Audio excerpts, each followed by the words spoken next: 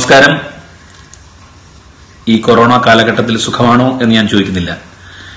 പക്ഷേ കൊറോണ കാലഘട്ടത്തിലും ഒന്നിക്കാൻ ഒരുമിക്കാൻ സന്തോഷം പങ്കിടാൻ ദുഃഖം മറക്കാൻ ഒരു ഉത്സവം നമ്മുടെ കേരളീയരുടേതായിട്ടുള്ള ഉത്സവം വരികയാണ് ഓണം.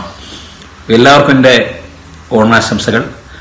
നമ്മൾ ഈ മഹാമാരി അതിജീവിച്ച് മുന്നോട്ട് പോകട്ടെ എന്ന് പ്രാർത്ഥിക്കുന്നു. ഇന്നത്തെ നമ്മുടെ എപ്പിസോഡ് കോഫി വിത്ത് ബാലാജി എന്നുള്ള സെഗ്മെന്റിൽ ഓണം സ്പെഷ്യലായിട്ട് നമ്മുടെ ഗസ്റ്റായിട്ട് എത്തുന്നത് മറ്റാരുമല്ല മലയാള സിനിമയിൽ ഇപ്പോൾ തിളങ്ങി നിൽക്കുന്ന ക്യാരക്ടർ റോൾസിനെ അതിഗംഭീരമാക്കുന്ന നാടകത്തിൽ നിന്നും സിനിമയിലേക്ക് വന്ന ഗുരുവായൂരിന്റെ സ്വന്തം ശിവജി ഗുരുവായൂർ. നമസ്കാരം ചേട്ടാ. നമസ്കാരം. ഇരിക്കാം. ഇരുന്നു. പിള്ളേ പിള്ളേ കേട്ട് മന്ത്രിയായിരിക്കും. ഇപ്പൊ മന്ത്രിയായി. ഞാൻ ചോദിച്ചോട്ടെ എത്ര മന്ത്രി വേഷങ്ങൾ ചെയ്തിട്ടുണ്ട് ഒന്ന് പെട്ടെന്ന് പറയാൻ പറ്റുമോ? പെട്ടെന്ന് പറയാൻ പറ്റില്ല. എന്നാലും ഒരു അറബിക് കഥ മുതൽ മന്ത്രി അറബിക് കഥയിലെ മന്ത്രിയാണ് അതുകൊണ്ട് ഇങ്ങോട്ട് ആ, നമ്മുടെ ഈ സിനിമയിൽ അങ്ങനെ ഒരു ഇതുണ്ട്. ഒരു വേഷം ഒന്ന്, പിടിച്ചു കഴിഞ്ഞാൽ പിന്നെ മന്ത്രിയായിരിക്കും. ഒരു പോലീസ് ആയി കഴിഞ്ഞാൽ പിന്നെ കുറെ പോലീസ് ആയി അതെങ്ങനെ എനിക്ക് കുറച്ച് അങ്ങനെ ഒരു അനുഭവമുണ്ട്. പോലീസായി ചെയ്ത് കഴിഞ്ഞാൽ പിന്നെ സ്ഥിരമായിട്ട് പോലീസായിട്ട് നിൽക്കുന്ന നടന്നായിരുന്നു ഈ മന്ത്രി വേഷം ഏഹ്, ചേട്ടന് യോജിക്കുമെന്ന് തോന്നിയ ആദ്യത്തെ ഡയറക്ടറാണോ ലാൽ ജോസ്? അതോ അതിനു മുമ്പ് മന്ത്രി വേഷങ്ങൾ നാടകത്തിലൊക്കെ അങ്ങനെ എങ്ങനെയാണ്. ലാൽ ജോസിനോട് ചോദിക്കേണ്ടത് തോന്നിയിട്ടുണ്ടാവും. പിന്നെ അതിലൊരു വേറൊരു രഹസ്യമുള്ളത്.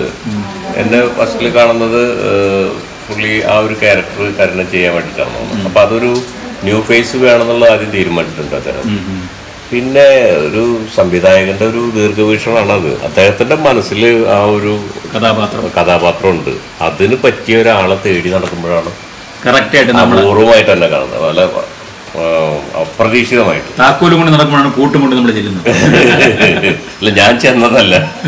ഇങ്ങോട്ട് വന്നു. ആർക്കപ്പുറത്ത് കണ്ടുപിട്ടി തന്നെ താക്കോലും കൂട്ടും. ചേട്ടാ നാടകത്തിൽ എത്ര വർഷം ഉണ്ടായിരുന്നു? നാടകത്തിൽ ഞാനൊരു ഇരുപത്തിയേഴ് വർഷം ഇരുപത്തിയേഴാമത്തെ പ്രൊഫഷണൽ ഇരുപത്തിയേഴാം വർഷം പ്രൊഫഷണൽ നാടകത്തിൽ നിൽക്കുമ്പോഴാണ് ഈ ലാൽ ജോസ് വന്ന് കാണുന്നത്. പക്ഷെ ഞാൻ സിനിമ നടനാവാൻ ആഗ്രഹിച്ചിട്ടില്ല സത്യത്തിൽ നാടകത്തിൽ നിന്നുകൊണ്ടിരിക്കുമ്പോൾ പോയിട്ട് ഒരു സിനിമ ചെയ്യുക വീണ്ടും നാടകം തുടരുക എന്നുള്ളതായിരുന്നു. പക്ഷെ നമ്മുടെ സിനിമയിൽ രാശി നോക്കുന്ന പരിപാടി ഉണ്ടല്ലോ. ഒരു പടം വിജയിച്ചു കഴിഞ്ഞാൽ പിന്നെ അങ്ങോട്ട്? ആ വിജയിച്ച നമുക്ക് രണ്ട് രാശിയുള്ള നടനാണ് ശിവജി ഗുരുവായൂർ എന്നുള്ള കാര്യം. അദ്ദേഹം തന്നെ അദ്ദേഹം തന്നെ പറഞ്ഞിരിക്കും പരിശോധിക്കേണ്ടി വരും. ഒരുപക്ഷെ അറബിക്കഥ വിജയിച്ചില്ലായിരുന്നെങ്കിൽ ഞാനിപ്പോഴും നാടകക്കാരൻ തന്നെയായിരിക്കും നാടകത്തിൽ അഭിനയിച്ചുകൊണ്ടിരിക്കുമ്പോൾ സിനിമ ചെയ്യാൻ നാടകം ചെയ്യാം പക്ഷെ എനിക്ക് പ്രൊഫഷണൽ നാടകം പിന്നെ ചെയ്യാൻ പറ്റാത്ത ഒരവസ്ഥ അത് ഖേദമുണ്ട്. അതിന് ഖേദം നമ്മളൊരു തീർക്കാനായിട്ട് ഞാൻ അമേച്ചർ നാടകങ്ങളൊക്കെ. ചെയ്തുകൊണ്ടിരിക്കുന്നു. ചേട്ടാ ഇപ്പം സൂപ്പർ ഹിറ്റായിട്ട് ഓടിക്കൊണ്ടിരുന്ന ലൂസിഫറിലും ചേട്ടൻ ഒരു രാഷ്ട്രീയക്കാരനായിരുന്നു. ഓടിക്കൊണ്ടിരുന്നതല്ല സൂപ്പർ ഹിറ്റായിരുന്നു. ഈ രാജു പൃഥ്വിരാജ് എന്ന് പറയുന്ന നമ്മളെല്ലാം അറിയുന്ന നടൻ സംവിധായകനായപ്പോൾ എന്താണ് ചേട്ടന് എങ്ങനെ തോന്നി രാജുവിനെ കുറിച്ച് രാജുവിന്റെ സംവിധാന കലയെക്കുറിച്ച് അതൊരു ഒരു വേറിട്ട കാഴ്ചപ്പാട് തന്നെയായിരുന്നു എനിക്കത്. എനിക്കെന്നല്ല. സിനിമാ ലോകം മൊത്തം നോക്കിക്കണ്ടത് അദ്ദേഹത്തിന്റെ സംവിധായകനെ തന്നെയാണ്. ഒരുപാട് പേര് പറഞ്ഞു സിനിമ എങ്ങനെ കാണുന്നു സിനിമ എങ്ങനെ വിലയിരുത്തുന്നു അതേപോലെ തന്നെ പാരലായിട്ട് ആ സംവിധായകനെയും കൂടെ വിലയിരുത്തി പോയി എന്നുള്ളതാണ്. സാധാരണ രീതിയിൽ ഒരു സിനിമ കാണുമ്പോൾ നമ്മൾ ആ സിനിമ കണ്ടങ്ങോട്ട് പോകും. അതല്ല സിനിമയുടെ ഒപ്പം ആ സംവിധായകനെയും അതേപോലെ വിലയിരുത്തി വിലയിരുത്തി പോയി. ഒരുപക്ഷെ സിനിമയിനേക്കാൾ മൂല്യം വന്നത്. സംവിധായകനായിരുന്നു. ചേട്ടൻ തന്നെ ഇടയ്ക്ക് സംസാരിച്ചപ്പോൾ ചേട്ടൻ പറഞ്ഞിട്ടുണ്ട് ചേട്ടനെ പാക്കപ്പ് കഴിഞ്ഞപ്പോ ചേട്ടനെ രാജി വിളിച്ചിട്ട് എന്ത് പറഞ്ഞു? എന്ന് പറഞ്ഞേ. ഓ അതൊരു വല്ലാത്തൊരു അനുഭൂതിയായിരുന്നു എനിക്കത്. കാരണം സാധാരണഗതിയിൽ സാധാരണ ഇതിലിപ്പോ എന്നെ പോലെയുള്ള ഒരു നടനെ ഒന്നും ഒരു സംവിധായകൻ വിളിച്ച് അങ്ങനെ താങ്ക്സ് പറയേണ്ട കാര്യമില്ല.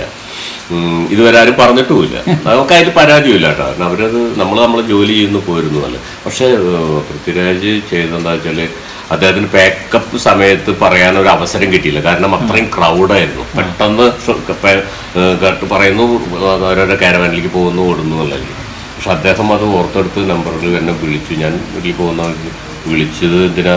താങ്ക്സ് പറയാൻ. എന്റെ ആദ്യത്തെ പടത്തിൽ വന്ന് സഹകരിച്ചതിൽ നന്ദി പറയാൻ.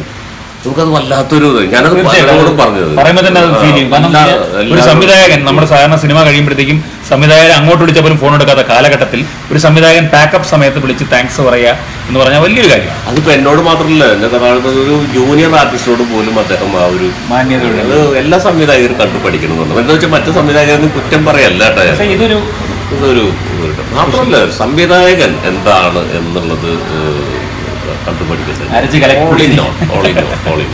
അരങ്ങിൽ ഒരു അരുണ കിരണം. എന്ന് ഞാൻ ഇങ്ങനെ ഒരു വാക്ക് പറഞ്ഞപ്പോൾ ചേട്ടൻ എന്താണ് തോന്നുന്നത്? അരങ്ങിൽ അരുണ കിരണങ്ങൾ. അരങ്ങിൽ അത് ഏറ്റുവിരിയും പൂക്കൾ പുലരിയെ നോക്കി അങ്ങനെയുള്ള വരികൾ. എന്താ സംഭവം എന്നറിയാമോ? നമ്മുടെ ശിവജി ചേട്ടൻ ലോക്ക്ഡൌൺ സമയത്ത് ഒരു നാടകത്തിനെ കുറിച്ച് നാടകക്കാരനാണല്ലോ അപ്പൊ നാടകത്തിനെ കുറിച്ചും ആരെങ്ങനെ കുറിച്ചും ഒക്കെ നല്ല നൊസ്റ്റാൾജിക് വരികൾ. പുള്ളി എഴുതിയ ഒരു പാട്ടാണ്. അത് സംഗീതം ചെയ്തിരിക്കുന്ന ആരാണ് ഏട്ടാ? മണികണ്ഠൻ. ഈ, ഒരു മെക്സിക്കൻ അപാരത ഞാൻ അഭിനയിച്ച പടമാണ് അദ്ദേഹത്തിന്റെ അതായത് ശിവജി ചേട്ടന്റെ മകന്റെ ഒരു യൂട്യൂബ് ചാനലുണ്ട്. Three sixty three sixty degree plus three sixty degree plus ചാനലിൽ ആ പാട്ടുണ്ട്. അടിഗംഭീരമാണ്. അത് അതാരാണ് അവതരിപ്പിച്ചിരിക്കുന്നത്? നമ്മുടെ മലയാളത്തിന്റെ മഹാനടൻ മോഹൻലാൽ. ലാലേട്ടനാണ് അവതരിപ്പിച്ചിരിക്കുന്നത്. ഭയങ്കര രസകരമായിട്ട് അവതരിപ്പിച്ചിട്ടുണ്ട്. ലാലേട്ടനെ കുറിച്ച് ലാലേട്ടനെ കുറിച്ച് ചേട്ടന് ഒരുപാട് സിനിമകൾ അഭിനയിച്ചിട്ടുണ്ട്. ലാലേട്ടനെ കുറിച്ച് ചേട്ടന് തോന്നിയിട്ടുള്ള ഒരു ഒരു പത്ത് പ്ലസ് പോയിന്റും മൈനസ് പോയിന്റ് ഒന്നും കാണില്ല എന്നറിയാം. എന്തൊക്കെയാണ് ലാലേട്ടനായിട്ടുള്ള അനുഭവം പറയാൻ പറ്റുന്നത്?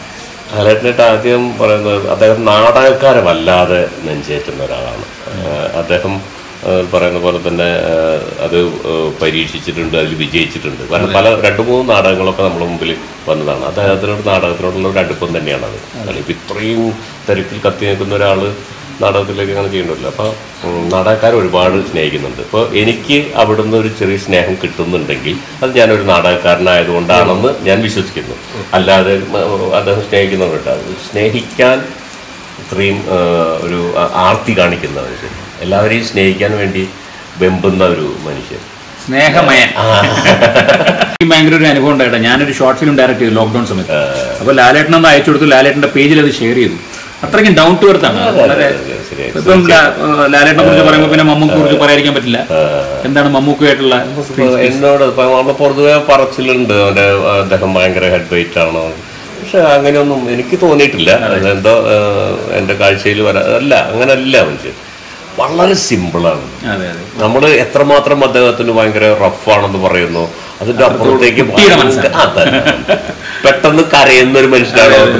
വളരെ നിസ്സാര കാര്യങ്ങളിൽ അദ്ദേഹം ഭയങ്കരമായിട്ട് നമ്മുടെ കാര്യങ്ങൾ അന്വേഷിക്കുന്ന ഒരു. തീർച്ചയായിട്ടും അന്വേഷിക്കും നമ്മുടെ കാര്യം നമ്മുടെ കുടുംബം. നമ്മുടെ കാര്യങ്ങളൊക്കെ അന്വേഷിക്കുന്ന ഒരു ഇപ്പൊ ഞാനൊരു ആൽബം ചെയ്തിരുന്നു ഒരു പൂതൻ എന്ന് പറഞ്ഞിട്ടൊരു ആൽബം. അത് വൈറലായതാണ്. പക്ഷെ നമ്മുടെ ഒരു സെറ്റിൽ വന്നപ്പോൾ അദ്ദേഹം അത് കണ്ടിട്ട് എന്നോട് വിളിച്ചിരുന്ന അഭിനന്ദിച്ചു. അതൊക്കെ നമുക്ക് ഒരു മമ്മൂക്കയുടെ ഒരു സ്പെഷ്യാലിറ്റിയാണ് മമ്മൂക്ക നല്ലൊരു പെർഫോമൻസ് ഉണ്ടായാലും അപ്പ കണ്ടിട്ട് എല്ലാ സിനിമകളും ഒക്കെ കാണുന്ന ആളാണ്. പക്ഷെ എല്ലാം അരിച്ചു അരിച്ചു കാണും. കുത്തിയിരുന്ന് വീട്ടിലിട്ട് എല്ലാം കാണുന്നുണ്ടതിന്റെ തെളിവാണ്. കണ്ടിട്ട് അഭിപ്രായം പറയും. ചെറുതാണോ ചെറിയവര് ചെയ്തതാണോ വലിയവര് ചെയ്തതാണോ ആ ഒരു ഭാഗമായിരുന്നല്ലാതെ എല്ലാ വർക്കുകളും അദ്ദേഹം എല്ലാ ക്രിയേഷൻസും അദ്ദേഹം കാണും. അഭിനന്ദിക്കേണ്ടതിനെ അഭിനന്ദിച്ചിരിക്കും. ഇപ്പോൾ പലപ്പോഴും പല കോളുകളൊക്കെ പലയിടത്തേക്കും ഇതായിട്ട് നമ്മൾ യൂട്യൂബിലൊക്കെ കാണാറുണ്ട്. ആരെങ്കിലും എന്തെങ്കിലും എവിടെയെങ്കിലും ഏതെങ്കിലും മൂലയിൽ നിന്നിട്ട് ഒരു നല്ല കാര്യം ചെയ്തിട്ടുണ്ടെങ്കിൽ അദ്ദേഹത്തിന്റെ നമ്പർ തേടി പിടിച്ച് വിളിച്ച് വിളിച്ചിരിക്കും. ഒരു അതെ അതുകൊണ്ടാണ് അവർ ഇന്നും സ്റ്റാർഡമിൽ ഇരിക്കുന്നത്. ആ മനുഷ്യന് തന്നെയാണ് പറയുന്നത്. ഒരു വിഭാഗം പറയുന്നത് ഭയങ്കര അത് അതെ അതെ അതെ. ചേട്ടാ ഈ കോവിഡിന് ശേഷം എനിക്ക് തോന്നുന്നു ആദ്യത്തെ ഷൂട്ടിംഗ് ആണെന്ന് തോന്നുന്നു അല്ലേ? അല്ലേ? ചേട്ടൻ വന്നിട്ട് ഇവിടെ എന്തോ കയ്യിലൊഴിച്ചിടോ തീർത്തു തീർത്തോണെന്ന് നാല് മാസം വീട്ടിലിരുന്നിട്ടാണ് ഇപ്പൊ ആദ്യമായിട്ട് ഇങ്ങനെ ഒരു ക്യാമറയ്ക്ക് മുമ്പിൽ വരുന്നത്.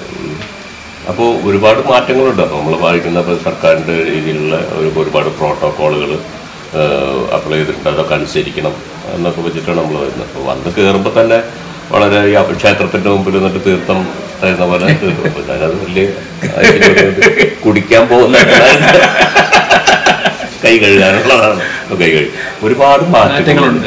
സ്ത്രീകൾ സ്ത്രീകളാണല്ലോ. സ്ത്രീകൾക്ക് കോവിഡ് ബാധിക്കില്ല? എന്തോ മേക്കപ്പിന് സ്ത്രീ മേക്കപ്പ് സ്ത്രീയാണോ അത്. അവർക്ക് നമുക്ക് ഇരുന്ന് കൊടുക്കുമ്പോഴൊക്കെ അവർക്ക് എന്തോ ഒരു ബുദ്ധിമുട്ട് ഇത് എനിക്ക് തോന്നുന്നതാണ് ഇനിയിപ്പോ അവർ നമ്മളെ മുഖത്ത് തൊടാൻ ബുദ്ധിമുട്ടുണ്ടാവും. കാരണം ഒരു മീറ്റർ അകലെ നിൽക്കേണ്ടതല്ല? അപ്പൊ ഇനിയിപ്പോ അവർ പരിശീലിക്കേണ്ടത് നമ്മൾ ഈ കത്തി മുള്ള ഉപയോഗിച്ച് ഭക്ഷണം കഴിക്കുന്ന പോലെ പോലെ സ്റ്റിക്ക് ഉപയോഗിച്ചിട്ട് ഇങ്ങനെ ഇങ്ങനെ ഇങ്ങനെ ഇങ്ങനെ ഇങ്ങനെ മേക്കപ്പ് ചെയ്യുന്ന ഒരു മീറ്റർ അകലത്തിൽ അതുപോലെ ചേട്ടന് മാസ്കിനെ കുറിച്ച് എന്തോ ഭയങ്കര സംശയം ഇവിടെ പറയുന്നതായിട്ടല്ലോ? മാസ്ക് ഞാൻ അങ്ങനെ മാസ്ക് അങ്ങനെ ഉപയോഗിക്കില്ല എനിക്കത് ഭയങ്കര ഡിസ്റ്റർബൻസ് ആയിട്ട്. നമ്മളൊരു ജീവിതത്തിന്റെ ഒരു ചേട്ടന്റെ ഒരു ചേട്ടന്റെ ഒരു സംശയം എന്ന് വെച്ച് കഴിഞ്ഞാൽ ഈ മാസ്ക് വഴി എന്താ വളരെ നാനോ ആയിട്ടുള്ള ഈ അണുക്കൾ കയറില്ലേ അല്ലേ? ഒരു സംശയം ചേട്ടാ അറബിക്കഥയിൽ ആദ്യത്തെ ഫിലിം? അറബിക്കഥ. അല്ലേ? അതിന് മുമ്പ് നാടകങ്ങളൊക്കെ ചെയ്തപ്പോൾ സിനിമയിൽ ആരും ക്ഷണിച്ചിട്ടില്ല നമ്മൾ നമ്മളെ ലോഹിദാസ് ഒരിക്കൽ വിളിച്ചു.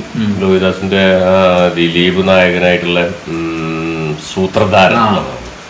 അപ്പൊ അതിലൊരു ബേക്കറി സെറ്റ് ഉണ്ടായിരുന്നു ഒരു പത്ത് മിനിറ്റ് നീണ്ടു നിൽക്കുന്ന ഒരു സീനാണ്. ബേക്കറിയുടെ ഉടമ ഞാൻ അവരിലേക്ക് ദിലീപിന്റെ പ്രൊഡക്റ്റുകൾ വന്ന് ചെലവാക്കാൻ നോക്കുന്നത് അങ്ങനെ ഒരു ദിലീപിനെ അവിടുന്ന് നാട് വിടാണ്ട് തൊട്ട് മുമ്പ് അതിന്റെ ഒരു ലീഡ് എന്നുള്ള നിലയ്ക്കുള്ള ഒരു സീനാണ് അത്.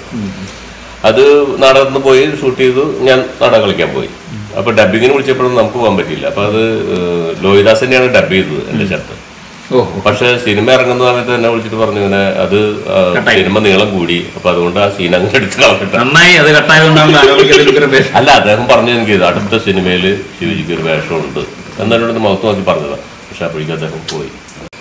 ചേട്ടൻ നാടകത്തിൽ ചേട്ടൻ ചെയ്തിട്ടുള്ള നായക കഥാപാത്രങ്ങളാണ്. ഞാൻ സത്യം പറഞ്ഞാൽ ഒരുപാട് ക്യാരക്ടർ വേഷങ്ങളൊക്കെ ചേട്ടൻ പൊലിപ്പിച്ച് തകർത്താടിയിട്ടുണ്ട്. നായക കഥാപാത്രങ്ങൾ ചെയ്തിട്ടുണ്ട്. എത്ര എത്ര എണ്ണമാണ് ചെയ്തതാണ് ഞാൻ പ്രൊഫഷണലിൽ എന്റെ എൻട്രി ഒന്നും എനിക്ക് നായകവേഷങ്ങളൊന്നും കിട്ടില്ല ഞാൻ കട്ടൻ കെട്ടുന്നതും സെറ്റ് കെട്ടുന്നതിനൊക്കെ ആയിട്ടാണ് വന്നുള്ളത് നമ്മൾ സ്വന്തമായിട്ട് പറഞ്ഞു തുടങ്ങി കട്ടൻ കെട്ടുകാരനായിട്ടും സെറ്റ് കെട്ടുകാരനായിട്ടും. പക്ഷെ നാടകം എന്ന് പറഞ്ഞാൽ അതിൽ പങ്കെടുക്കുക എന്നുള്ളതുള്ളൂ പിന്നെ പിന്നെ പകരക്കാരനായി അങ്ങനെ അവസാനത്തെ കുറച്ചധികം ഒരു പത്ത് വർഷങ്ങളിൽ പത്ത് സീസണുകളിൽ ഈ പറഞ്ഞ പോലെ സെൻട്രൽ ക്യാരക്ടർ തന്നെയാണ് ചെയ്തിരുന്നത്. ഒരുപാട് നല്ല ക്യാരക്ടർ. ഇപ്പോൾ ഓച്ചിറ നിള എന്ന് പറഞ്ഞ ഒരു ഇരിയും മരിക്കാത്ത കർണനിൽ ദുര്യോധനൻ അതുപോലെ തന്നെ ഒരുപാട് മറ്റേ ഗുരുവായൂർ ബന്ധിൽ അറിവിന്റെ തമ്പുരാൻ അതുപോലെ തന്നെ പാഴൂർ പഠിപ്പുര സ്നേഹവിരുന്ന് അത് കഴിഞ്ഞ് എനിക്ക് അവാർഡ് കിട്ടിയ ഇത് എത്ര അവാർഡ് അവാർഡുകൾ കിട്ടിയിട്ടുണ്ട് കേട്ടോ സ്റ്റേറ്റ് അവാർഡ് ഒരെണ്ണം. സിനിമയിൽ അവാർഡ് സിനിമയിൽ അവാർഡ് കിട്ടി ഉടനെ തന്നെ കിട്ടും കേട്ടോ. ഉടനെ കിട്ടും. ഉടനെ കിട്ടാനുള്ള ചേട്ടാ ഞാൻ നമുക്ക് കിട്ടേണ്ടതാണ്. നമ്മൾ ചേട്ടനെ മാത്രം. ചേട്ടനെ കാണുമ്പോഴൊക്കെ ഞാൻ പറയുന്ന ഒരു കാര്യമുണ്ട്. അവാർഡ് ഇത്തിരി മിസ് മിസ്സായി പോയിട്ടുണ്ട് കേട്ടോ ഏതാണ്? അതിൽ അത് എന്നിട്ട് വേറെ ആർക്കും കിട്ടിയതാണ് അതിൽ പറഞ്ഞു രണ്ടു മൂന്ന് പേര് പറഞ്ഞു എനിക്ക് എനിക്കും എന്നെയും കൂടിയിട്ട് അതിൽ പെടുത്തി പക്ഷെ ഏതായിരുന്നു സിനിമ? ഈ വിദ്യാഭ്യാസ കാലഘട്ടത്തിൽ തന്നെ നാടകത്തിൽ സജീവമായിരുന്നു. അതോ ഇതുവരെ വേറെ എന്തെങ്കിലും ജോലി ഇല്ല ഇല്ല ഇല്ല ഞാൻ ഏഴാം ക്ലാസ്സിൽ പഠിക്കുമ്പോൾ തൊട്ട് നാടകം. അത് അത്ര ഗൗരവമൊന്നല്ല നാടകത്തിന്റെതായിട്ടുള്ള ഒരു ഗൗരവത്തിന് വന്നിട്ടില്ല. മാത്രമല്ല അതൊരു അക്കാഡമിക്കലായിട്ട് പഠിക്കാനുള്ള അവസരം ഒന്നും ഉണ്ടായിട്ടില്ല. എന്നാലും നമ്മളുടെ പൂർവികരിൽ നിന്ന് ഗുരുമുഖത്ത് നിന്ന് പഠിച്ച് അവരുടെ കളരിയിലൊക്കെ പങ്കെടുത്ത് അങ്ങനെ വന്നാണ്. ഇപ്പോഴും ഞാൻ അക്കാഡമിക്കലല്ല അക്കാഡമിക്കലായിട്ട് പഠിച്ചു വന്നുള്ള നാടകക്കാരൊക്കെ പിന്നെ എവിടെയെന്ന് വെച്ച് കഴിഞ്ഞാൽ ഭൂരിഭാഗവും വേസ്റ്റ് ആയിട്ടാണ് കാണുന്നത്. അക്കാഡമിക്കായിട്ട് പഠിപ്പിക്കുന്ന കേന്ദ്രങ്ങൾ നമ്മൾ സ്കൂൾ ഡ്രാമ പോലെയുള്ള ഉണ്ട്. പക്ഷേ അവിടുന്ന് വരുന്ന പ്രൊഡക്റ്റുകളൊക്കെ ഒരു ഒരു നൂറിൽ പത്ത് പേരൊക്കെ ക്ലച്ച് പിടിച്ചിട്ടുള്ളൂ. അതും നാടകത്തിലാണോ നിൽക്കുന്നതെന്ന് വെച്ച് കഴിഞ്ഞാൽ അതും കഷ്ടമാണ്. അവർക്കൊക്കെ അവർ നേരിട്ട് സിനിമയിലേക്കും അതിലേക്കൊക്കെ ഇങ്ങനെ വ്യാപിച്ചു പോകുന്നതാണ്. അപ്പോൾ നാടകത്തിന് അങ്ങനെ ഒരു ഗതികേടുണ്ട്. ഈ മീശ വെച്ച് അഭിനയിക്കാത്തതാണോ അതോ മീശ വെക്കാതെ അങ്ങനെ ആയതുകൊണ്ട് കണ്ടിന്യൂസ് ആയിപ്പോയതാണോ എന്താണ് ഈ മീശയില്ലാത്ത ഈ മുഖത്തിന്റെ രഹസ്യം? മീശ മീശ- കൊതി വന്നിട്ടില്ല. മീശയും താടിയൊക്കെ വെച്ച് വേറൊരു ഗെറ്റപ്പിൽ അത് ആവശ്യത്തിന് വെക്കുന്നുണ്ട് അവർ ഒട്ടിച്ച് വെക്കുന്നുണ്ട്. അല്ലാതെ- സ്വന്തമായിട്ടുള്ള മീശ ഞാൻ അധികം വെക്കാനുള്ള ഭാഗ്യം കിട്ടിയിട്ടില്ല. കാരണം അത് നാടകത്തിലാവുമ്പോഴും അങ്ങനെ തന്നെയാണ്. ഏത് ഗെറ്റപ്പിലും നമുക്ക് മാറാം. അത് ചിലപ്പോ ഒരു ചില ചെറുപ്പം രണ്ട് പ്രായമൊക്കെ കാണിക്കേണ്ടി വരും. അപ്പൊ ഒരെണ്ണം ചേഞ്ച് കിട്ടാൻ വേണ്ടി ഒരെണ്ണം മീശ വെച്ചത് ഒരെണ്ണം മീശ ഇല്ലാത്തത്. അപ്പൊ അങ്ങനെ ആ കാലം മുതലേ എനിക്ക് മീശ ഇല്ല മീശ വെക്കാൻ പറ്റാറില്ല. വളരെ അപൂർവം മാത്രമേ സിനിമയിൽ മാത്രമേ മീശ വെച്ചിട്ട് അഭിനയിച്ചിട്ടുള്ളൂ. എന്നാൽ ജോമാരുടെ സുവിശേഷത്തിൽ മീശ ഓൺ മീശയുണ്ട് അതുപോലെ തന്നെ ജയസൂര്യ. മേരിക്കുട്ടി. അതിലും എന്റെ ഓൺ ചെയ്യണം അങ്ങനെ വളരെ അപൂർവം അതിനുവേണ്ടി അത് അവർ പറയും. അങ്ങനെ ഓൺ താടിയും ഇതും വേണം എന്ന് പറയുമ്പോൾ ചെയ്യുന്നതാണ്. അല്ലാതെ മീശ വെച്ചിട്ടില്ല. പിന്നെ എന്റെ വ്യക്തിപരമായിട്ടുള്ള ഒരു അഭിപ്രായം എന്ന് പറയുന്നത് നമ്മൾ ഈ അഭിനയിച്ച് നമ്മൾ അഭിനയം നമ്മളെ തൊഴിലാണെങ്കിൽ നമ്മൾ പ്ലെയിൻ ഫേസ് കൊടുക്കണം നല്ലതെന്ന് തോന്നുന്നു എനിക്ക് ആവശ്യാനുസരണം വേണമെങ്കിൽ അതുമല്ല ഒരു അഭിനയത്തിന്റെ മുഴുവൻ പൂർണരൂപം നമ്മൾ മുഖത്ത് തെളിയണമെങ്കിൽ ഇത് മീശക്ക് ഒരു തടസ്സമാണെന്നും തോന്നുന്നുണ്ട്. അതുകൊണ്ട് ഈ കഥകളിക്കാരൊരു പോയിന്റാണ്. കഥകളിക്കാരൊക്കെ മീശ വെക്കാത്തതുണ്ടല്ലോ. കഥകളി തുള്ളൽ ഐറ്റംസ് ഒക്കെ. ഞാൻ മീശ നാളെ പോലും മീശ എടുത്ത് നോക്കട്ടെ. ആരും വിളിക്കില്ല. അഭിനയിച്ചതിൽ ഏറ്റവും ഇഷ്ടപ്പെട്ട രണ്ട് കഥാപാത്രങ്ങൾ. എനിക്ക് ഇഷ്ടപ്പെട്ട കഥാപാത്രങ്ങളെ ഞാൻ അഭിനയിച്ചിട്ടുള്ളൂ. ചേട്ടാ ഇങ്ങനെ പറഞ്ഞാൽ ഞാൻ ഞാൻ ഞാനിത് ഒരു ഇഷ്ടമില്ലാത്ത കഥാപാത്രം അഭിനയിക്കാൻ പോകുന്നു എന്ന് ആരെങ്കിലും പറയും? നെഞ്ചോട് ചേർത്ത് വെക്കാൻ പറ്റുന്ന സാറും ഒരു ഇഷ്ടമില്ലാത്ത കഥാപാത്രം അഭിനയിക്കും. ഇല്ല ഇഷ്ടമില്ലാത്ത കഥാപാത്രമല്ല. എന്നാൽ നെഞ്ചോട് ചേർത്ത് എനിക്ക് എന്റെ നെഞ്ചോട് ചേർത്ത് വെക്കുന്ന ഒരു കഥാപാത്രം ഒഴിമുറിയിൽ ഞാൻ ചെയ്ത ഒരു കഥാപാത്രം മുരുകൻ എന്ന് പറഞ്ഞു അതുപോലെ ചേട്ടന് നെഞ്ചോട് ചേർത്ത് ചേർത്ത് വെക്കാവുന്ന ഒരു കഥാപാത്രം എനിക്ക് കിട്ടിയിട്ടില്ല എന്ന് പറയേണ്ടി വരും. എന്നാലും ഒന്ന് രണ്ട് ചില പഴങ്ങളൊക്കെ അതും മറ്റുള്ളവർക്ക് പറയുമ്പോൾ എനിക്ക് അപ്പോഴും എനിക്ക് തോന്നുന്നുണ്ട് ഞാൻ അതിൽ മാത്രമല്ല ചെയ്തോ എന്നൊക്കെ തോന്നാറുണ്ട്. അപ്പൊ അറബിക്കഥയിലെ കരുണൻ എന്റെ പേര് തന്നെ മാറ്റി കളഞ്ഞു. കരുണൻ കരുണൻ എന്ന് പറയാൻ തുടങ്ങിയ ആൾക്കാർ അപ്പൊ അത് മറ്റുള്ളവർക്ക് ഇഷ്ടപ്പെടുമ്പോ ഞാനും ഇഷ്ടപ്പെടുമ്പോ വേറെയും കഥാപാത്രങ്ങളുണ്ട്. ഇപ്പൊ ഇതിൽ മേരിക്കുട്ടിയിലെ മേരിക്കുട്ടിയുടെ അച്ഛൻ. വല്ലാതെ വല്ലാതെ ഫീൽ ചെയ്തുള്ള ഒരു ക്യാരക്ടറാണ് കാരണം നമ്മളതൊന്നും ഗ്ലിസറിനൊന്നും ഇല്ലാതൊക്കെ വളരെ അച്ഛൻ. കാരണം അങ്ങനത്തെ ക്യാരക്ടർ നമ്മളെ പരിചയത്തിലുണ്ട് അടുത്തുണ്ട്. അതുപോലെ തന്നെ രാജസേനന്റെ ഒരു പടമുണ്ട്. അത് അത്ര തിയേറ്ററിൽ അത്ര വിജയിച്ചില്ല. അത് ഭാര്യ ഒന്ന് മക്കൾ മൂന്ന് എന്ന് പറഞ്ഞ അതിൽ രാജസേനന്റെ അച്ഛനായിട്ടുള്ള ഒരു ക്യാരക്ടർ അതും നമ്മൾ ലൈഫിൽ വന്നിട്ടുള്ള ഒരു ക്യാരക്ടറാണ് ലൈഫിൽ അനുഭവിച്ചിട്ടുള്ള ഒരു ക്യാരക്ടറാണ് അപ്പം അത്തരം ക്യാരക്ടറുകളൊക്കെ നമുക്ക് മനസ്സിൽ ഇങ്ങനെ വല്ലാതെ വിങ്ങലുണ്ടാക്കിയിട്ടുള്ള ക്യാരക്ടറുകളാണ് പ്രിപ്പയർഡ് ആയിട്ടാണോ അഭിനയിക്കുന്നത്? അതോ അഭിനയിക്കുമ്പോൾ ഓട്ടോമാറ്റിക്കലി നമ്മൾ പ്രിപ്പയർഡ് ആവുന്നതാണോ? ചേട്ടന്റെ രീതി എന്റെ എന്റെ രീതിയിൽ എന്ന് പറഞ്ഞാൽ എന്നോട് നേരത്തെ കഥ പറയാനൊക്കെ വരും ആൾക്കാർ അപ്പൊ ഞാൻ പറയുന്നോട് കഥ പറയണ്ട. എനിക്ക് അത് പറ്റില്ല മറക്കും ഞാനത്. എപ്പോഴും അഭിനയിക്കുമ്പോൾ നമ്മൾ പ്രീ പ്ലാൻഡ് ആവരുത് എന്നുള്ളൊരു അഭിപ്രായമാണ് എനിക്ക്. അത് എന്റെ മാത്രം അഭിപ്രായം ആയിരിക്കാണ് കാരണം നമ്മൾ കഥ നേരത്തെ അറിയുന്നത്. ഇപ്പോൾ നമ്മൾ കാണുന്ന ആ കഥ വീക്ഷിക്കുന്ന ഒരാളെ സംബന്ധിച്ചിടത്തോളം അത് ഫ്രഷാണ് അതെ അതെ അപ്പൊ നമ്മളിപ്പോ ഒരു ചോദ്യ ഉത്തരം ഒരു ആൾ ഒരു കാര്യം പറയുന്നു അതിന് മറുപടി ഞാൻ പറയുന്നു. അത് നേരത്തെ പഠിച്ചു വെച്ച് പറയല്ല. അത് അപ്പൊ ഞാൻ കേൾക്കുന്നതായിട്ട് എനിക്ക് തോന്നണം. ഒരു സംഭാഷണത്തിൽ എന്റെ ഓപ്പോസിറ്റിലുള്ള ആൾ പറയുന്ന ഒരു കാര്യം ഞാനത് ആദ്യമായിട്ട് കേൾക്കുന്ന പോലെ എനിക്ക് തോന്നണം. അത് നേരത്തെ ഞാൻ കേട്ട് കഴിഞ്ഞാൽ അല്ലെങ്കിൽ അത് പഠിച്ചു വെച്ച് കഴിഞ്ഞാൽ അതൊരു കൃത്രിമത്വം വരുമെന്നുള്ളത് അപ്പൊ അപ്പൊ അതിന് അപ്പൊ തോന്നുന്ന മറുപടി പറയുന്ന പോലെ പറയണം. അത് അവർ എഴുതി തരുന്ന മറുപടിയായിട്ട് മിക്സ് ചെയ്തിട്ട് എനിക്ക് അപ്പൊ എങ്ങനെയാണോ അത് റെൻഡറിങ് വരുന്നത് ആ രീതിയിലേക്ക് റെൻഡർ വരണം. അപ്പൊ നമുക്കത് ഒരു കൃത്രിമത്വം തോന്നില്ല. അപ്പൊ അത് പ്രീ പ്ലാൻഡ് ആവാതിരിക്കുക നല്ലതെന്നാണ് എനിക്ക് തോന്നുന്നത് അത്. നമ്മൾ രസകരമായിട്ട് ഇങ്ങനെ പോയിക്കൊണ്ടിടയിൽ ചേട്ടന് സിനിമയിലോ നാടകത്തിലോ പ്രൊഫഷണലിയോ അല്ലാതെയോ മനസ്സിനെ വേദനിപ്പിച്ചിട്ടുള്ള എന്തെങ്കിലും ഒരു ഒരു എന്തെങ്കിലും ഒരു സംഭവം? അതായത് നമ്മൾ നടനെ നമ്മളിലെ നടനെ അംഗീകരിക്കാതെയോ? അല്ലെങ്കിൽ ഇപ്പൊ ചേട്ടന് ഓഫ് കോഴ്സ് സിനിമയ്ക്ക് വേണ്ടി അധികം ചാൻസും തണ്ടേണ്ടി വന്നിട്ടില്ലെന്നാണ് എനിക്ക് തോന്നുന്നത്. അങ്ങനെ ചാൻസ് അന്വേഷിച്ച് പോകാതെ തന്നെ ഇങ്ങോട്ട് വന്നു സിനിമയിൽ എന്തെങ്കിലും ഒരു ഒരു അങ്ങനെ ഒരു വേഷമോ നമ്മളിലെ പ്രൊഫഷണലി നമ്മളെ വേദനിപ്പിച്ചിട്ടുള്ള എന്തെങ്കിലും ഒരു ഇൻസിഡന്റ് ഉണ്ട്. അത് സ്വാഭാവികമായിട്ടും മനുഷ്യനാണെങ്കിൽ അങ്ങനെയുള്ള വേദനകളൊക്കെ വേണമല്ലോ. എപ്പോഴും സന്തോഷിച്ചാൽ പോലെ ഈ പറഞ്ഞ പോലെ ഞാൻ സിനിമയിലേക്ക് അങ്ങോട്ട് വേഷം ചോദിച്ചു പോയിട്ടില്ല. ഇപ്പൊ ഇപ്പൊ നമ്മളിപ്പോ ഈ ഇരിക്കുന്ന നിമിഷം വരെയും അങ്ങോട്ട് ആരെയും വിളിക്കാറില്ല. ആരെയും വിളിക്കില്ല എനിക്ക് അങ്ങോട്ടുള്ള ഫോൺ ചെയ്യൽ വളരെ കുറവാണ് ഞാൻ. അത് ലാൽ ജോസ് തന്നെ ഒരു പരാതിയായിട്ട് പറഞ്ഞിട്ടുണ്ട് അത്. കാരണം ലാൽ ജോസ് എനിക്ക് ഫസ്റ്റിൽ കണ്ടു എന്റെ എന്റെ ഫോൺ നമ്പർ അങ്ങോട്ട് വാങ്ങി അദ്ദേഹത്തിന്റെ ഫോൺ നമ്പർ എനിക്ക് തന്നു എന്നെ ഒന്ന് വിളിക്കണം എന്ന് പറഞ്ഞു. ഞാനത് അങ്ങനെ കേട്ടപ്പോൾ അങ്ങനെ കളഞ്ഞു. അദ്ദേഹം ഒരു മാസം കഴിഞ്ഞിട്ട് വീണ്ടും എന്നെ വിളിക്കുക. ഓഹോ. അപ്പോഴാണ് പിന്നെ ഞാൻ ചെല്ലുന്നത് അപ്പോൾ പറയുന്നതിൽ അദ്ദേഹം ആ ക്ലാസ്മേറ്റ്സ് ഒക്കെ ചെയ്ത് ചെത്തി നിൽക്കണമല്ലോ സാധാരണ ഒരാൾക്ക് ഒരു നമ്പർ കൊടുത്തു കഴിഞ്ഞാൽ എങ്ങനെയും ലീക്ക് ഔട്ട് കഴിഞ്ഞിട്ട് കിടന്ന് ഉറങ്ങാൻ സ്വയം തരാറില്ല. ഇയാളിത് എന്തൊരു മനുഷ്യനാണ്. കാരണം ഞാനത് വേറെ മനഃപൂർവമല്ല. നമ്മളൊരു കോൾ ചെയ്യുന്ന നേരത്തായിരിക്കും അവർ വല്ല ചിന്തകളിലൊക്കെ ആയിരിക്കും. അവരെ ചിന്തേനെ ബ്രേക്ക് ചെയ്യുന്ന ഒരു കോളായിരിക്കും എന്റെ ഉള്ള ഒരു അർത്ഥത്തിലാണ്. ഞാനങ്ങനെ സിനിമ ഒരു വേഷം തരും. ദൈവാനുഗ്രഹം കൊണ്ട് വരുന്നുണ്ട് വേഷങ്ങൾ വരുന്നുണ്ട് ചെയ്യുന്നുണ്ട് എന്നല്ലാതെ ഞാൻ നേരത്തെ പറഞ്ഞ പോലെ ഞാൻ അങ്ങോട്ടുള്ള വിളി ഇല്ല. ഇല്ല. എന്നാ തുടങ്ങണം? എങ്ങനെ തുടങ്ങണമെങ്കിൽ അവർ കഥ വായിച്ചു ദക്ഷിണ തന്നു അനുഗ്രഹം വാങ്ങി പോയി. പോയി. ഞാൻ എന്റെ അനുഗ്രഹം. അനുഗ്രഹം വായിച്ചിട്ട് തന്നെ പോയത് ഭയങ്കര അനുഗ്രഹം കൊടുത്തിട്ടൊക്കെ പോയത്.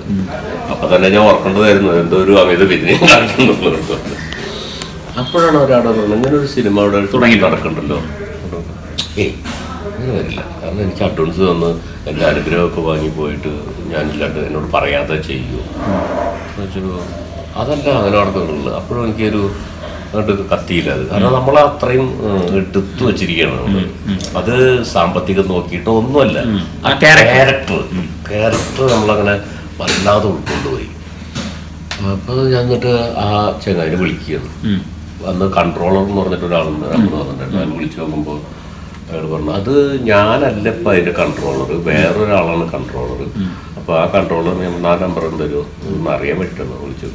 വിളിച്ചു നോക്കുമ്പോഴാണ് പറയണത് അത് ചേട്ടനല്ല ചെയ്യുന്നത് അത് പ്രൊഡ്യൂസർ മാറി മറ്റു മാറി മറ്റു മാറി വേറൊരാളെ ചെയ്യുന്നത് അങ്ങനെയാണ് അങ്ങനെയാണ് പറഞ്ഞത്. നിങ്ങൾക്കൊന്ന് പറഞ്ഞൂടെ കുറച്ച് പൈസ കൊടുക്കുന്നുണ്ട്. അത് ഞാൻ ആരെങ്കിലും കൊടുക്കുന്നുണ്ട്. എനിക്കത് വീട്ടിൽ എന്റെ മക്കൾക്ക് അത് തിന്നാൻ കൊടുക്കാൻ പറ്റില്ല. അതെവിടെ തന്നെ അതൊന്നും വേണ്ട കേട്ടോ അത് ആ പ്രൊഡ്യൂസറില്ല ആ പ്രൊഡ്യൂസറില്ല ഒരു നാടകക്കാരനെ വെച്ചിട്ടാണ് ചെയ്തത്. ആ നാടകക്കാരനോട് എനിക്ക് വിഷമം തോന്നുന്നു തോന്നുന്നു കാരണം ഒന്നും വിളിക്കാൻ അദ്ദേഹത്തിന് അറിയില്ല എന്നാണ് പറഞ്ഞത്. അദ്ദേഹത്തിന് അറിയില്ല. അറിഞ്ഞോളണമെന്നില്ല. അദ്ദേഹത്തിന് അയാളൊരു അയാൾ ചെയ്യുകയാണെങ്കിൽ അതോടുകൂടി അയാൾ സിനിമയിൽ കത്തി തിളങ്ങേണ്ടതാണ് ആ ക്യാരക്ടർ. പക്ഷെ അത് എട്ട് നിലയ്ക്ക് പൊട്ടി. സിനിമയെ കാണാൻ നമ്മുടെ ഒരു വിഷമം നമ്മുടെ ഒരു മാറ്ററായിരുന്നു ആ സിനിമ. അത് അതേ സംവിധാനം തന്നെയാണ് ചെയ്തത്. നല്ല അതിന് ഞാൻ ഡീറ്റെയിൽ പോയിരിക്കാൻ പോയില്ല പക്ഷെ നല്ലൊരു സബ്ജക്റ്റ് ഇതുവരെ സിനിമയിൽ കൈകാര്യം ചെയ്യാത്തൊരു സബ്ജക്റ്റ് പിന്നെ ആ സിനിമ എന്തുകൊണ്ടാണ് പൊട്ടാൻ കാരണം? മിക്കവാറും അത് കൈമാറി വന്നപ്പോൾ പിന്നെ കഥയിൽ മാറ്റം വരുത്തി മറ്റൊരു ഇടപെട്ട് ഇടപെട്ട് ഇടപെട്ട് നശിപ്പിച്ച് കളഞ്ഞിട്ടുണ്ടാവും അത് പക്ഷെ ഇപ്പോഴും ആ ക്യാരക്ടർ എന്റെ മനസ്സിൽ നിന്ന് ചെയ്യാൻ പറ്റില്ല നമ്മൾ ഏത് ചെറുതായാലും വലുതായാലും നമ്മൾ ചെയ്യുന്ന ക്യാരക്ടറിനോട് ഞാൻ നൂറ് ശതമാനം. പുലർത്തുന്നുണ്ട്. മാക്സിമം ഡെഡിക്കേറ്റ് ചെയ്യുന്നുണ്ട് എന്നുള്ള വിശ്വാസമാണ് എനിക്കുള്ളത്. അത് ഞാൻ ചെയ്തിരിക്കും. അത് ചെയ്തിട്ട് എല്ലാ പണിയും ചെയ്ത് വെച്ചിട്ട് ഇതിലേക്ക് മാറി എന്ന് പറയുമ്പോൾ ഉണ്ടാകുന്ന വിഷമം. അത് കേൾക്കുന്നവർക്ക് അത് നിസ്സാരമായിരിക്കാം. എന്റെ പാട് കാശി ചെലവാക്കുന്ന വേറെ ആളുകൾ വിളിച്ചത് പക്ഷെ എന്നെ സംബന്ധിച്ചിടത്തോളം പൈസയല്ല അത്. പൈസയല്ല. അതൊരു ഒരു കലാകാരനോട് ഒരിക്കലും ചെയ്യാൻ പാടില്ലാത്തതാണ്. വേണമെങ്കിൽ എന്റെ അനുവാദത്തോടെ വേറൊരാളാണ് ചെയ്യും. ഒരാൾ താങ്കളല്ല വേറൊരാളാണ് ചെയ്യേണ്ടതെന്ന് പറഞ്ഞാൽ ഞാൻ എതിർക്കൊന്നുമില്ല ഞാൻ കാരണം അത് എനിക്ക് തന്നെ ചെയ്യണം പറഞ്ഞിട്ട് വാശി പിടിക്കാനൊന്നും ഞാനില്ല. പക്ഷെ അത് അത്രയും ഉള്ളിലുള്ള അങ്ങനെ സംഭവങ്ങളൊക്കെ ഉണ്ടായി. ചേട്ടാ ഞാൻ ടപ്പ ടപ്പ ടപ്പേന്ന് ചോദ്യം ചോദിക്കും. ചേട്ടൻ ടപ്പ ടപ്പ ടപ്പേന്ന് ഉത്തരം പറയാം ദേഷ്യം വരുന്ന ആളാണോ? ടപ്പ ടപ്പ ടപ്പേ. ടപ്പ ടപ്പ ടപ്പ. ഞാൻ ചോദിക്കുന്നതിന് ചേട്ടൻ ഒറ്റ വാക്കിൽ ഉത്തരം പറയാം ഒറ്റ വാക്കിൽ. അപ്പം ടപ്പ ടപ്പ ടപ്പയല്ല. ചോദിക്കുന്നതിന് പെട്ടെന്ന് പെട്ടെന്ന് ഉത്തരം പറയണം. ഇനി പെട്ടെന്ന് പെട്ടെന്ന് പറഞ്ഞില്ല. ദേഷ്യം വരുന്ന ആളാണോ? അല്ല. അല്ല. എന്നാലാണ്? അതെന്താണ്? എപ്പോഴാണ് ആണ്? അതൊരു മനുഷ്യന്റെ ദേഷ്യവും അതുപോലെ തന്നെ സാന്ത്വനവും ഒക്കെ ഒരു മനുഷ്യനിലുള്ളത് തന്നെയാണത് അതെ. എപ്പോഴും ശാന്തമായിട്ടുള്ള ഒരു മനുഷ്യനെ എനിക്ക് ഉണ്ടാവില്ല എന്നാണ്. എപ്പോഴെങ്കിലും എനിക്ക് ദേഷ്യം വരും. അപ്പൊ ഇത് രണ്ടും സമ്മിശ്രമായിട്ടിരിക്കുന്ന രൂപമാണ് മനുഷ്യൻ. കണ്ടിന്യൂസ് ആയിട്ട് ദേഷ്യം വരാറില്ല. ഒരു ദേഷ്യക്കാരനല്ല. അല്ല അല്ല ഏറ്റവും ചേട്ടനിൽ ഇഷ്ടപ്പെട്ട സ്വഭാവം ഇഷ്ടപ്പെടാത്ത സ്വഭാവം. ചേട്ടനിൽ എന്നിൽ എന്നിൽ ഇഷ്ടപ്പെടാത്ത സ്വഭാവം ഇല്ല. എനിക്ക് എന്റെ എന്നെ എനിക്ക് ഇഷ്ടമാണ് ഭയങ്കര ഇഷ്ടമാണ്. ആ എന്നെ എനിക്ക് ഭയങ്കര ഇഷ്ടമാണ്. ഒരു ഒരു സ്വഭാവവും ചേട്ടന് ഇഷ്ടമില്ലാത്തില്ല. ഒന്ന് ആലോചിക്കും എന്തെങ്കിലും ഒരു നെഗറ്റീവ് എനിക്കിത് മാറ്റണം എന്ന് തോന്നുന്ന ഒരു നെഗറ്റീവ് ഒന്നുമില്ല? ഇല്ല. ഇല്ല. അങ്ങനെ ഇല്ല തോന്നിട്ടില്ല. എന്തോ ഞാൻ വേറിട്ടൊരു ചെയ്യണം ഈ മാസ്ക് വെക്കുന്നത് എനിക്ക് ഇഷ്ടമല്ല എന്തെങ്കിലും പറ. ഈ അപ്പൊ ഇഷ്ടപ്പെട്ട സ്വഭാവം എല്ലാ നമുക്ക് നമ്മൾ നമുക്ക് വേണ്ടി മാത്രമല്ലല്ലോ ജീവിക്കുന്നത്. അതെ അതെ. അപ്പൊ അതൊക്കെ ഇങ്ങനെ ഒറ്റവാക്കിൽ ചോദിക്കേണ്ട ചോദ്യങ്ങളുണ്ട് അതിന് തപ്പട്ടപ്പ ഉത്തരം പറയേണ്ട പാടില്ല ഇതൊക്കെ വിശദമായിട്ട് ഉത്തരം പറയണം നമ്മൾ നമുക്ക് വേണ്ടി മാത്രമല്ല ജീവിക്കുന്നത്. ഞാൻ കുറച്ച് സമയം എന്റെ അമ്മയ്ക്ക് വേണ്ടി ജീവിക്കേണ്ടി വരും. അപ്പൊ അമ്മയുടെ ഇഷ്ടങ്ങൾ ഇഷ്ടങ്ങൾ ഞാൻ അനുസരിക്കേണ്ടി വരും. അത് അമ്മയുടെ ഇഷ്ടങ്ങൾ എന്ന് പറയുന്നത് ചിലപ്പോ എനിക്ക് എതിരായിരിക്കും. എനിക്ക് എതിരാണെങ്കിൽ പോലും അത് അമ്മയ്ക്ക് വേണ്ടി ചിലപ്പോൾ ഞാൻ അനുസരിക്കേണ്ടി വരും. അപ്പൊ അങ്ങനെയൊക്കെ ആയാലേ മനുഷ്യനാവുള്ളൂ. അല്ല അപ്പൊ അതുകൊണ്ടാണ് ഇഷ്ടപ്പെട്ട സ്വഭാവം ചേട്ടന് ചേട്ടന് എല്ലാ സ്വഭാവം ഇഷ്ടമാണ്. എനിക്ക് എന്നെ ഇഷ്ടമാണ്. എനിക്ക് എന്നെ ഇഷ്ടമാണ് എല്ലാ സ്വഭാവം ഇഷ്ടമാണ്. ഇഷ്ടപ്പെടാത്തൊരു സ്വഭാവവും ഇല്ല. ഇഷ്ടപ്പെട്ട ആളാരാണ്? കുടുംബത്തിലോ അല്ലെങ്കിൽ അല്ലയോ? ചേട്ടന്റെ കുടുംബത്തിലെ ഇപ്പം ഒരു സു- കുടുംബത്തിലിപ്പം ഭാര്യ മകൻ മകൻ രണ്ട് മക്കളല്ലേ? രണ്ടാണ്. ഒരാൾ. അല്ല എനിക്ക് രണ്ട് മക്കൾ എന്റെ മോന് ഒരാൾ. മോനൊരാൾ അപ്പൊ ഇപ്പം ഏറ്റവും ഇഷ്ടം തോന്നുന്ന ആരെയാണ്? അത് നേരത്തെ പറഞ്ഞ ഉത്തരം ശരിയാവണമെങ്കിൽ ഞാൻ ഉത്തരം ഇങ്ങനെ പറയേണ്ടി വരും. എനിക്ക് ഏറ്റവും ഇഷ്ടം തന്നെയാണെന്ന് പറയേണ്ടി വരും. അല്ലെങ്കിൽ നേരത്തെ പറഞ്ഞു. ചേട്ടാ ചേട്ടാ ഈ അനുഗ്രഹം കൊടുത്തു എന്നൊക്കെ പറഞ്ഞപ്പോഴാണ് എനിക്ക് ഒരു കാര്യം ഓർമ്മ വന്നത്. ചേട്ടന് ഇവരെ ഇരട്ട പേരുണ്ടെന്ന് പറഞ്ഞത് അനുഗ്രഹ ശിവജി. ഞാൻ. പക്ഷെ എന്തോ ഈ സെറ്റിൽ വന്നപ്പോഴും ഒരാൾ പറയുന്നു കേട്ടു ചേട്ടാ ചേട്ടൻ എന്റെ മോനെ അനുഗ്രഹിച്ചു ഇപ്പൊ വലിയ വലിയ വലിയ നടല്ല. അത് നമ്മളത് മനസ്സുകൊണ്ട് അനുഗ്രഹിക്കും അതുകൊണ്ടൊന്നും ആവണമെന്നില്ല ഒരു കഴിവില്ലാത്ത ഒരാളെ ഞാൻ എങ്ങനെ തലക്കടിച്ച് അനുഗ്രഹിച്ചാലും അവനൊന്നും അവൻ അവന്റെ ജന്മസിദ്ധമായിട്ടുള്ള കഴിവുണ്ടാവണം. ആ കഴിവ് പ്രകടിപ്പിക്കാനുള്ള ബോധം ഉണ്ടാവണം. അതിനോടൊരു ഡെഡിക്കേഷൻ ഉണ്ടാവണം. അങ്ങനെ വളരുള്ളൂ. അല്ലാതെ ഏതൊരു ദൈവം വന്ന് അനുഗ്രഹിച്ചാലും ഗുണം പിടിച്ചോളണമെന്നൊന്നുമില്ല. അപ്പൊ എന്നെ ഒന്ന് അനുഗ്രഹിച്ചു. ഒന്ന് അനുഗ്രഹിച്ചു. പക്ഷേ ഈ അനുഗ്രഹം കൊണ്ട് മാത്രമായില്ല. മനസ്സിൽ പറയണം നല്ലത്. മനസ്സിൽ ചിലപ്പോ വേറെ പറയാം ഇതെന്താന്ന് വെച്ചാൽ നമ്മളൊരു നാടകക്കാരനായിട്ട് എന്റെ ഒരു കാരണം ഒരു സ്ഥാനത്ത് കാണുന്നു അതുകൊണ്ട് എന്താ സംഭവിച്ചാൽ നമ്മൾക്ക് എപ്പോഴും ഒരു കാരണം എന്ന് പറഞ്ഞാൽ നമ്മളെ ഈ ചില ചില നുറുങ്ങ് തമാശകളിലൊന്നും ഇടപെടാൻ പറ്റാതെ ആരും കൂട്ടം കൂട്ടില്ല. നേരിട്ട് വരുമ്പോ തന്നെ ആ അങ്കിൾ അല്ലെങ്കിൽ സാർ എന്ന് പറയും ചില കുട്ടികളികൾ. ആ കുട്ടിക്കളികൾക്കൊന്നും നമുക്കൊരു സ്വാതന്ത്ര്യം കിട്ടില്ല. അഥവാ കുട്ടികളിൽ നിന്ന് കഴിഞ്ഞാൽ നമ്മൾ വിചാരിച്ചാൽ ഞങ്ങൾ ഇന്ന് നിന്റെ മൊയ്തീൻ എന്നുള്ള സിനിമയുടെ സെറ്റ് വെച്ചിട്ട് ഒരു ഒരു ചെറിയൊരു കളി നമ്മൾ കളിക്കാൻ. വളരെ കുട്ടികളെ. കുട്ടികളായിട്ട്. അന്നാണ് മനസ്സിലായി സിവി ചേട്ടൻ പറഞ്ഞ പറഞ്ഞാൽ വളരെ കൊച്ചു കുട്ടികളെക്കാളും കുട്ടിയാണ്. ഷോർട്ട് കഴിഞ്ഞാൽ വാ വാ വാ മറ്റേ കളി കളിക്കാൻ തുടങ്ങി. അപ്പൊ ചേട്ടാ ഇത്രയും സമയം. വളരെ രസകരമായിരുന്നു ചേട്ടനോട് സംസാരിക്കാൻ കഴിഞ്ഞത്. ഇതിന്റെ നമുക്ക് ശരിക്കും പറഞ്ഞാൽ ഇതിലൊന്നും തീരുന്നില്ല. ഇനിയും ഒരു അനസ്യൂദ്യമായിട്ട് ഒരുപാട് കാര്യങ്ങൾ സംസാരിക്കാനുണ്ട്. എങ്കിലും നമ്മുടെ ഈ സമയദൈർഘ്യം കൊണ്ടും മറ്റുള്ള കാരണം കൊണ്ടും ഷൂട്ടിൽ വിളിക്കാൻ വേണ്ടി ആളുകൾ അപ്പൊ വളരെ സന്തോഷം ചേട്ടാ. അപ്പൊ ഒരു കാര്യം കൂടെ ഒന്ന് പറയണം. ബാലാജി ശർമ്മ എന്നുള്ള ചാനൽ ഒന്ന് സബ്സ്ക്രൈബ് ചെയ്യാൻ പറഞ്ഞു അതെ പറഞ്ഞിട്ടില്ലേ? ബാലാജി ശർമ്മ എന്നുള്ള ഒരു ചാനൽ സബ്സ്ക്രൈബ് കാണണം പ്രോത്സാഹിപ്പിക്കണം. സബ്സ്ക്രൈബ് ചെയ്യണം, സബ്സ്ക്രൈബ് ചെയ്യണം. പിന്നെ ബെല്ലുമ്പ് തുറന്ന്. ബെല്ലുമ്പ തുറന്ന് അങ്ങനെ ചെയ്യണം. ഓക്കെ. ഓക്കെ. അപ്പോൾ നല്ല ഇൻട്രസ്റ്റിംഗ് ആയിട്ടുള്ള ഒരു എപ്പിസോഡായിരുന്നു നല്ല ടോക്കറ്റീവാണ് ആണ് ശിവചേട്ടൻ ഇനി അടുത്ത ഒരു പുതിയ അതിഥിയുമായി കോഫി വിത്ത് ബാലാജിയിൽ വീണ്ടും കാണാം. Till then it is bye from Balaji take care ഈ പ്രോഗ്രാം നിങ്ങൾക്ക് ഇഷ്ടമായാൽ ഈ ചാനൽ ലൈക്ക് ചെയ്യാനും ഷെയർ ചെയ്യാനും സബ്സ്ക്രൈബ് ചെയ്യാനും മറക്കരുത്.